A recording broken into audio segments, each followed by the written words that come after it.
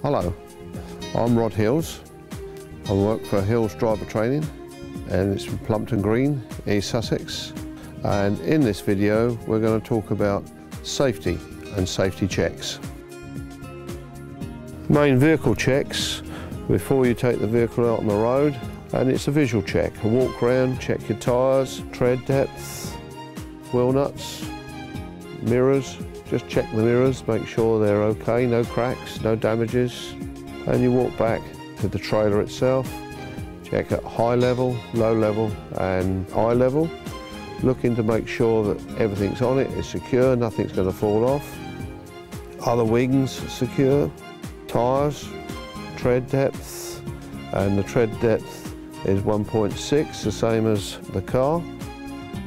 The rear of the vehicle and trailer, check the lights to make sure the lenses are okay.